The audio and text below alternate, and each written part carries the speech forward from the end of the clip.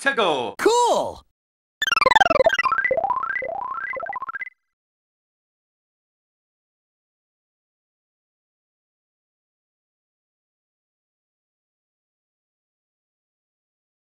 Okay, here we go.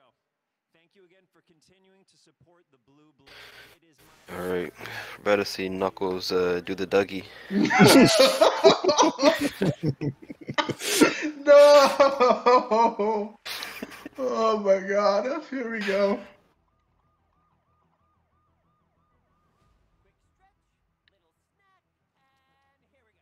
Oh, and he's got the chili dogs. Oh my god. This man beating up burglars.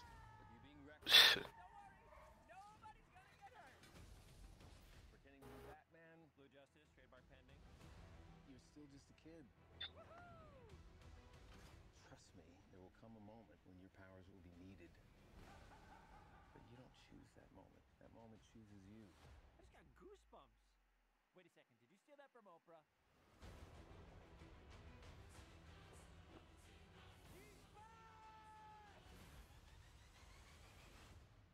Papa's got a brand new stash. Since I've been gone, I've discovered the source of ultimate power. There it is. That sounds big. It's been on my vision board for years. Chaos Emerald. Oh boy. Is that supposed to be that ball thing from the comics? Is what we're gonna do. Step one, light taunting. Step two, I have no idea.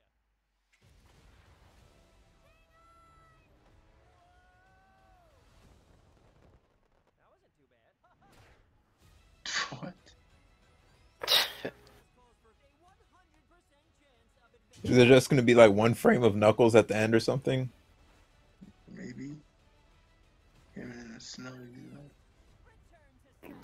Gotta show Knuckles. You're never going to get my power. Oh, they're showing him right there. Oh, Uh, there he is. That Oh, does not. wow. What is that voice? What is that voice? Come on now. He doesn't look Oh, bad, but what is that voice, bro? Oh my god. Okay. He sounds too evil. right. What is that voice? they It's made him go more on like the villainous. Uh, they made him seem a little villainous there. He sounds like a, a Skeletor or something. Oh, oh, nuts. Oh, I'm gonna mute. 2022, so exciting. The delicious last course. Uh oh. Next up, earlier you saw the trailer for Sonic 2, the movie, and now it's time for the little blue guy to give you a glimpse at his next game, also coming Oh. in 2022. They double dipping with Sonic. Oh, All right, let's see. Whoo, boy.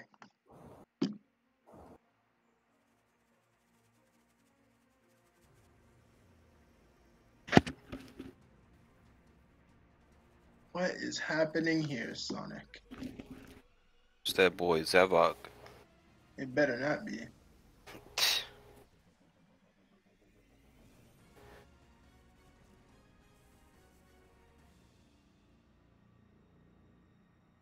Ah, dude, they did it. Dang, so the No. overworld rumors are true? Oh, dude, Look at these Max, I really hope motherfuckers you're okay coughing. with. Breath of the. Man, these rumors. Look at these motherfuckers. Dude, why is everyone just like, okay, we'll all just do a Breath of the Wild reboot. We'll just all do... Oh, the oh ta- Oh my even the towers rumor it was true. The Dude, this is, Ubisoft this is towers. terrible. this is this game is gonna be competing against Zelda next year. they wish.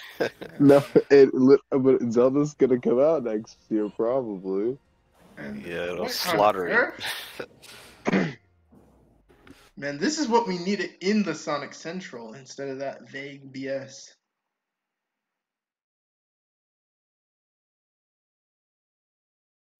Hey everyone, it's Knux, and hey, how's it going? It's been a while since my last video, um, because things have been busy for me. Uh, but before we dive into our talk about this recent Sonic news shenanigans, I want to say apologies if you hear some stuff in the background because I'm recording this early in the morning and there's some cars going by and a storm is happening right now. It's not the best time to record, but I wanted to uh, record something with these reactions before I um like finalize the video because I wanted to really iron out my thoughts and make sure I get all the details and stuff. Uh, more could be coming out soon, so this still could be outdated a bit, but I think I'm pretty much set uh, to talk about last night's reveals. So last night was the um, 2021 Game Awards, and if you want my thoughts on the overall show, it was a drag. Three hours of pain and agony, bro. Like the generic CGI reveal trailers, the lack of any Nintendo news, which I'm surprised Nintendo was not there. Like usually they have a somewhat decent presence at the Game Awards. Like there have been years where they haven't had too many things, but like they literally had nothing. They had one award and then they just kind of like disappeared for the rest of the show. So that was shocking to me. A lot of people on Twitter were pretty upset about it, especially Zelda fans, especially Zelda fans, because they were pretty much expecting uh, Breath of the Wild 2 news.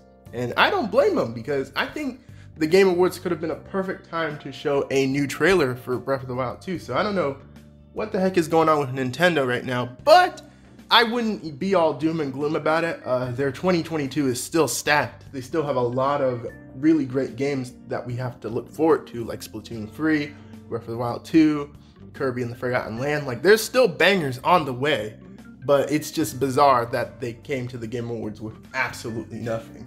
Uh, but I guess we'll just wait till the next Nintendo Direct, which I would hope would be January, but it could be February, so yeah, uh, good luck to uh, my fellow Nintendo fans waiting for that. But that's not what you're all here for. You are all here to hear my thoughts on the Sonic news at the Game Awards because believe it or not, Sonic kind of showed up. Like I was wasn't thinking Sonic wasn't going to show much at this show. I was thinking, "Oh, watch him show like a 2-second teaser for the game and then do absolutely uh, bare minimum for the movie."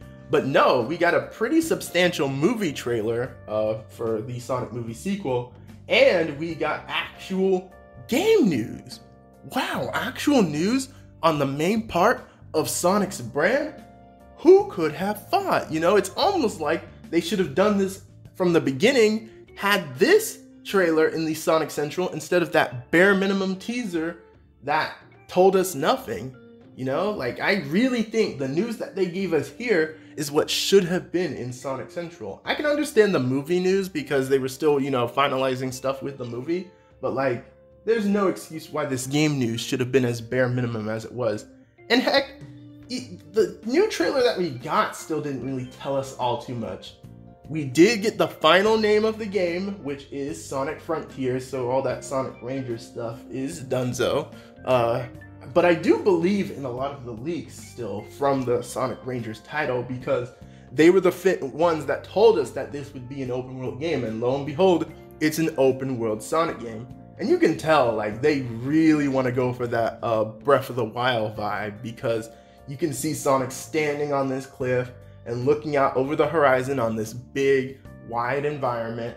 And there's even like freaking towers that uh, Sonic can visit, which are literally like the freaking Sheikah towers and the Ubisoft towers. Like it's, it is so generic open world, but it is interesting to see that Sonic is going to tackle this um this genre. It, it's really interesting to see Sonic tackle this. Um, now I'm not too excited because first of all, while we did get an in-engine look of the game, the game, I don't know, something about it still felt very rough to me. Like Sonic kind of gave off that generic Unreal Engine vibe. Oh, Nintendo, hire this man. And it didn't look too stylized at all. Like, while I like the fact that for once we're in an actual, you know, grounded environment, we're not in Green Hill Zone or Chemical Plant or reused asset places. It actually looks like a very grounded and original location and they confirmed that the name of the location is Starfall Islands or something, which I think is really cool.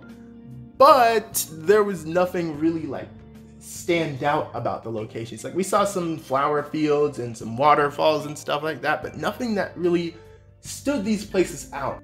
It kind of reminded me of um, Rise of Lyric, where Rise of Lyric had certain places that looked okay and were kind of new to Sonic, but were still pretty generic and unnoteworthy. And that's a big reason why Rise of Lyric is easily one of the most forgettable games because no nothing about that game is memorable at all. So that kind of worries me. But I'm gonna stay a little open-minded. Again, we didn't see much gameplay. Like we saw a lot more than the teaser gave us, but we did not get much on the gameplay and what exactly we're going to be doing. Are we going to be fighting bosses in these opener hub worlds? Are we going to be doing fetch quest missions? Are we going to be looking for rings? Like, what on earth are we doing in this game? We have no clue.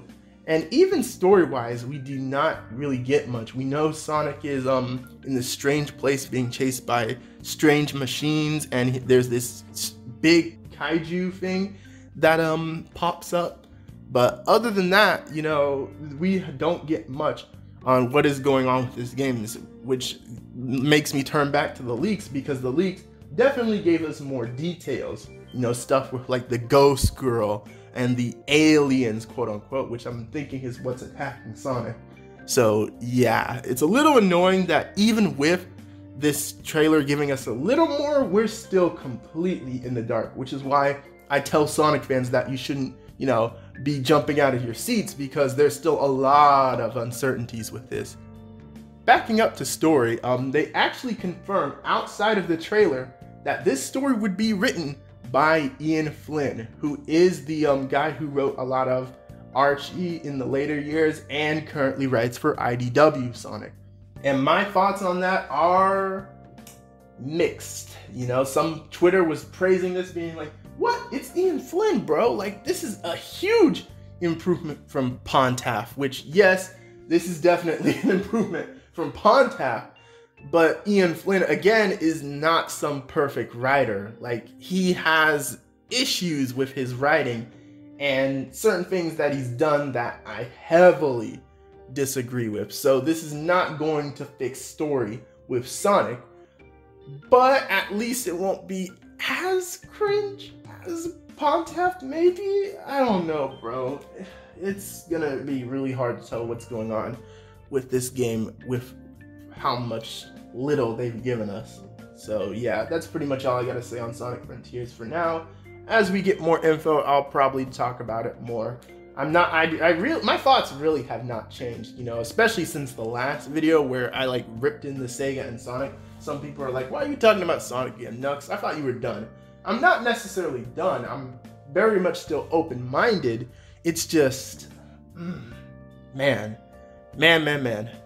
Sonic, what? Sonic, Sonic, Sonic. What a roller coaster of a brand. But now, let's talk about that movie trailer, which surprisingly was kind of more hype than Frontiers, which is sad, but it's true because the movie acts the movie sequel actually looks pretty dang good. Like we got our first look at um, you know, Jim Carrey with his new outfit looking a bit more like the Eggman from the games. He's not chubby, but I don't mind that. I think he actually looks pretty good in this redesign. Um, we got our first look at, you know, some of the plot shenanigans. Tails shows up. He even has the tornado, which we learned from the uh, poster at first, but we see it in full action in the trailer, which I think that's cool. Sonic is snowboarding at a point, which gives me vibes to Ice Cape and the snowboarding level in Sonic Adventure. Uh, we see Sonic, you know, do crime fighting, which I think is weird. Like Sonic is not. I don't really associate Sonic with bothering with petty crimes, but I, I think that is something he would do. You know, considering how he was patrolling in um Sonic Adventure. But yeah, mm, other like there's some things about the trailer like we still have you know Tom and Maddie, which I think they're still gonna drag the story a little bit. I feel like they are, but we see a lot more game fan surface. Like we even get a look at an emerald. I think it's either a chaos emerald or the master emerald. It really looks like the master emerald, especially when we see it on a shrine at some point. Like I think it is the master emerald. And you know what that leads into? Oh boy, we got our first look at live action Knuckles. And what are my thoughts on live action Knuckles? Honestly, he looks pretty dang good. Like in terms of the design, I was originally very scared for the design because the prop model that leaked that showed what Knuckles might look like had him looking a bit buff, which worried me because that made me think he was going to look like Boom Knuckles, which God, thank God he does not look like some giant buff generic jock doofus. Thank God. Like, uh, but he does look a bit bulkier than usual. Like he looks similar to his game counterpart, but they clearly like bulked up his chest and his arms. Which I think if they they were going to bulk Knuckles up, I think they did it in the best way possible. You know, like I much prefer his game counterpart. Like I think a lot of the core uh, game designs, especially the ones drawn by Yuji uh, Uehara. I, I, I can't pronounce his name to save my life, but yeah, the adventure designs are some of the best iterations of these characters, and I much prefer when Knuckles is a bit on the, uh, the slimmer side, but bulky Knucks portrayed this way is not that bad. We also heard a bit of his voice, which not too much to really like fully judge, but he sounds a lot more intimidating than I thought he would. Like he, he sounds so like evil the way he talks to Sonic and just slams him down.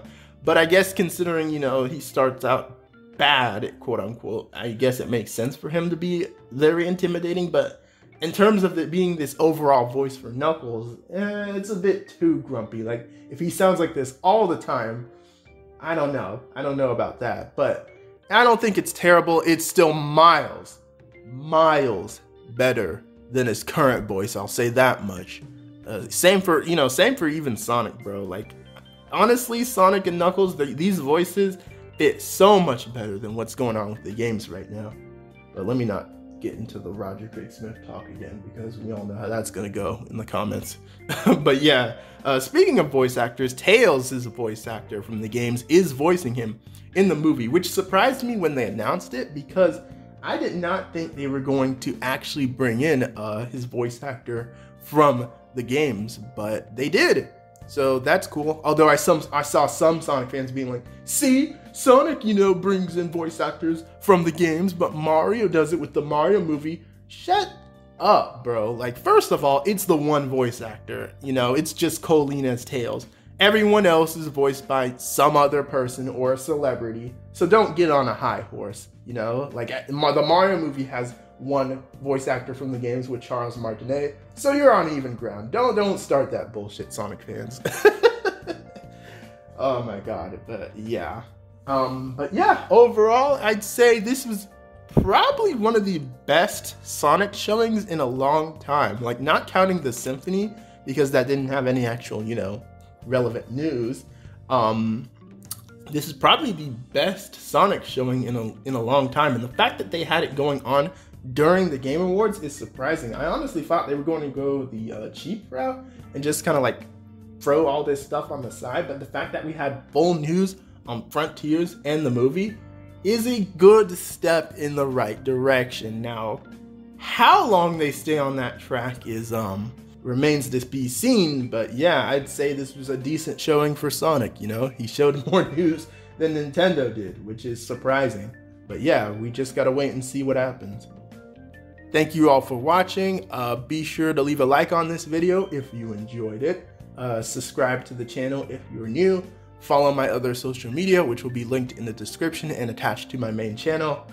All that stuff. Um, until then, I will be working on my next few video projects, which there's definitely a lot of new types of videos I want to get into, but it's still gonna take a minute for me to push all that out, so please be patient with me. All right, this has been Knux, and I'm out. Peace.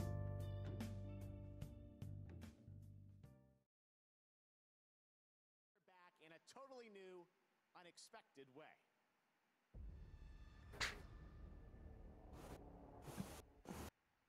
Among Us? Oh no. Ace, Ace, what have you done? oh, wait a minute. Wait. It is. It is. Ace, hey. I hate you. this man, he summoned it. He summoned it.